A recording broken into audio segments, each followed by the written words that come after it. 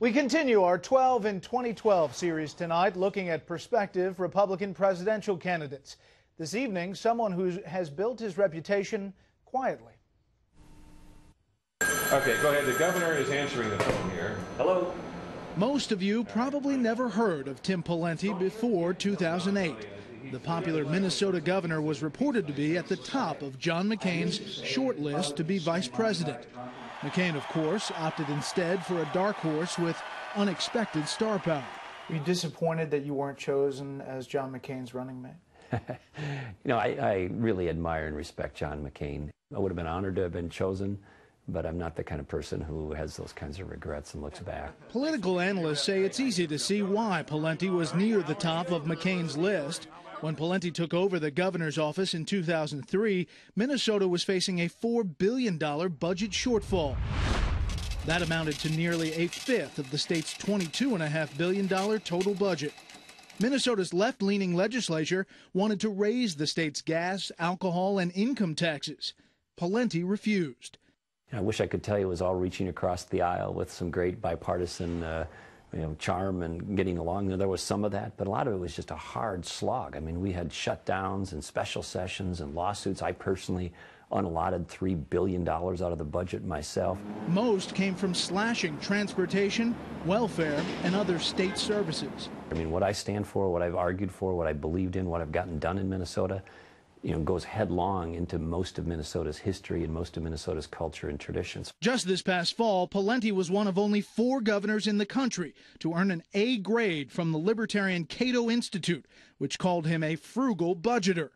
The Washington Post called him a top contender to reshape the GOP. Tim Pawlenty is running for president. We know that. Uh, he's doing everything you need to do in the traditional manner, going around and talking to groups and visiting all the key early states. You've traveled frequently to Iowa, New Hampshire. You've hired a staff in Iowa. Are you running for president? I haven't decided that yet. Uh, I'm certainly open to it, but I haven't ruled it in or out. In August, he and his wife Mary went to the Iowa State Fair, a stop for any 2012 contender. And he's done more than campaign with local candidates. Pawlenty has three separate political action committees that donated to a staggering 160 candidates nationwide leading up to the midterm elections. That's 160 favors he can call in if Pawlenty decides to run in 2012. Do you think that the mindset for American voters has changed in two years since 2008's election of Barack Obama? No question. I think the uh, 2008 mindset in terms of the election was one of uh, just change for change's sake. I don't think they really, uh, you know, were thinking about some of the things that unfolded beyond 2008 that we needed a different kind of leadership for. And so since then, the public clearly has said President Obama and the Pelosi Reid-led Congress has overplayed their hand. What do you think is the most important foreign policy issue the country faces? Well, there's no question that the United States faces a number of national security threats, but the situation in the Middle East, wars uh, in Iraq and Afghanistan uh, continue to be loom large. And so I've been to Iraq five times. I've been to Afghanistan three times. I've been all over the Middle East. I've uh, been to China three times. But in my view, the, the number one issue facing the United States of America is making sure that America is secure and that we're respected around the world.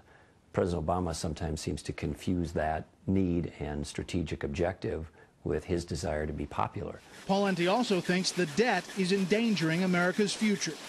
Are there specific programs you could see right now that you would just chop? I think, Bret, Obamacare is one of the worst pieces of legislation in the modern history of the country. It is going to increase uh, health care spending, not decrease it. It's going to uh, inflate the deficit, not decrease the deficit. Governor Pawlenty has been compared and makes the comparison himself to Ronald Reagan, mostly because he has stuck to governing conservatively in a liberal state.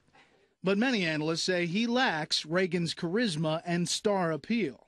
A political scientist at Carleton College said this This is not a fellow who is going to come across as strikingly charismatic. People see that he's smart and competent, but there's not much sizzle.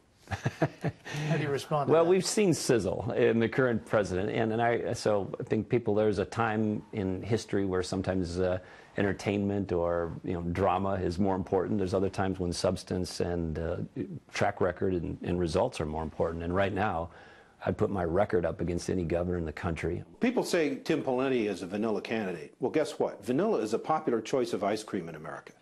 And so when it comes to the presidency, uh, people, you know, they may like other candidates, they may get more excited about other candidates, but when you look at who you want sitting in the Oval Office uh, with their hand on the red button, uh, you, you know, you tend to like candidates who are, uh, come off as competent and uh, cool.